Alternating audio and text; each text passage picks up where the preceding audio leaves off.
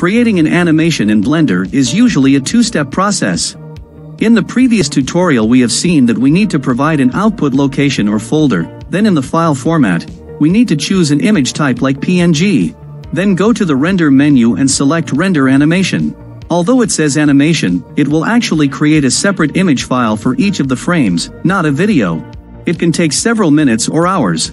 Once complete, close this and open the output folder. You will see a series of such image files created by Blender. Now to create an actual video from these still frames, open another instance of Blender. In this initial prompt, select Video Editing. Once we are in the editor click on Add and then choose the Image Sequence option. Now go to the folder where we have created the image sequence and choose one file. Press A on your keyboard to select all the files and click on Add Image Strip. It will add one strip containing all the still images in a sequence. You can add a sound with this if you want. Select Add, then Sound option and choose the sound file in the same way and click on Add Sound Strip. It will add a strip for the background music. You can change the volume or pitch for this sound strip. You can add yet another sound also with this in the same way. Blender adds everything as a separate strip into this editor. You can treat each strip just like a separate object and can even animate some of their properties. You can even add another image sequence or a video file.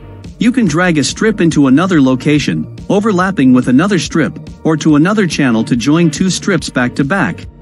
For the image sequence or a video strip, you can change its opacity or other properties from here, and you can also keyframe them.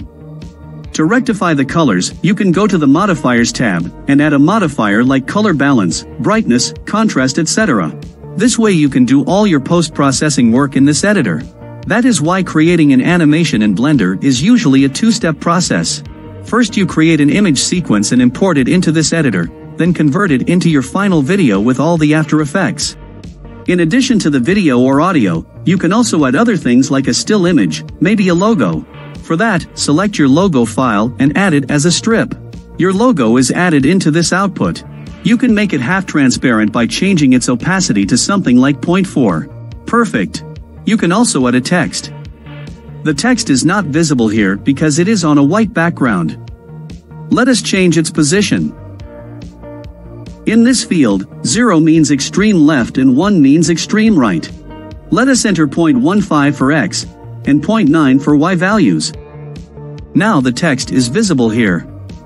You can change the temporary text to the actual text, maybe your name or the video description. It will overlay on your video. You can change the font size or color of the text. Let us also make it half transparent. So, you might have noticed that the length of this text strip is much shorter than the length of our image sequence. If you want the text to cover the entire video length, go to the time section. It has a start frame and a duration. Change them as per your requirement. We will do the same for the logo we have added. Let us make the duration as 400. Now, there are other things to do. For example, you can add an effect for the video like a fade-in effect, either manually changing its opacity or from this menu option. So let us go to the start and play the animation to verify how the final output looks like. Once everything is done up to your satisfaction, you can now render the final video. Well, probably we should add the same effect for the text we have added, the fade in and fade out effect and also for the logo so that they mix with the video uniformly. After that, go to the output settings. First change the end frame to match with the end of our image sequence 400. The frame rate should be same as the original frame rate. Then select the output file location. And in the output file format this time select the FFmpeg option for a video. Now in the encoding section, select a video codec like H264, and also an audio codec like MP3 if you want sound.